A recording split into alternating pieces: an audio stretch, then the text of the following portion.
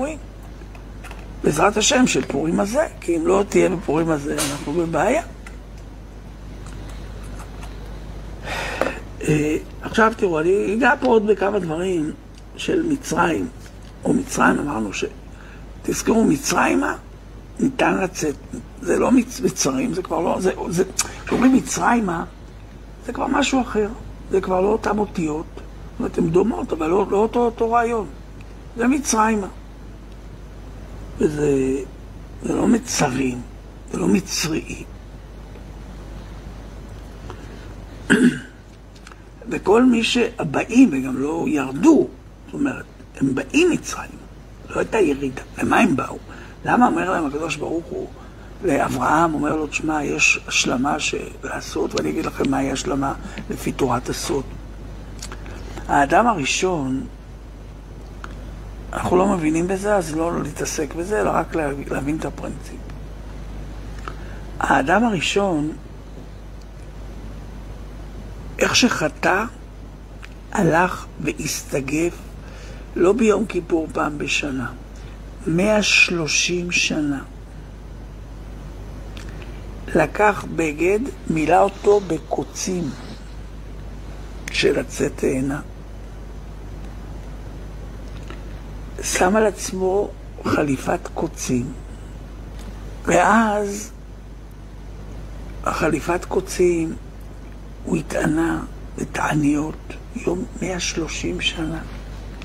130 שנה הוא הבין מה הוא עשה בעולם והתענה בתעניות שאנחנו לא, לא מסוגלים לתפוס איזה תעניות.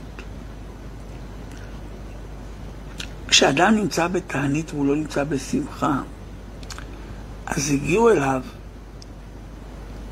אותם ש"דים, אותם... כי הוא ישב במקום שנקרא בגיחון,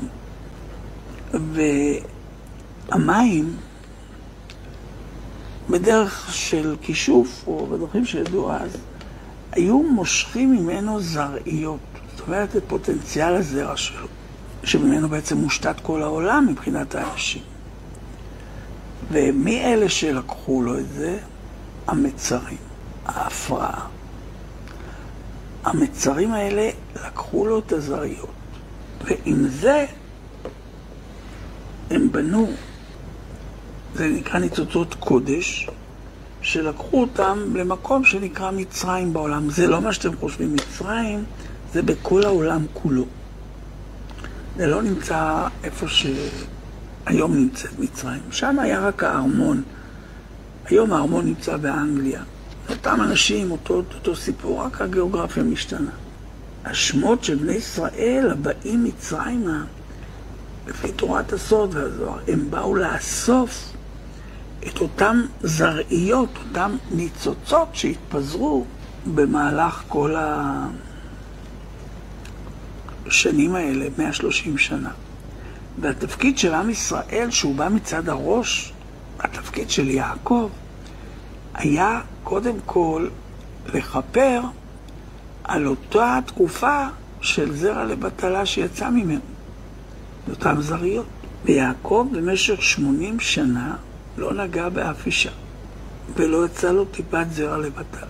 זאת אומרת, הקדושה שלו הייתה כל כך גבוהה שהוא תיקן את הקלקול הזה של האדם הראשון, אבל המשך התיקון, הרי יצאו פה זריות, לא צריכים להחזיר אותם.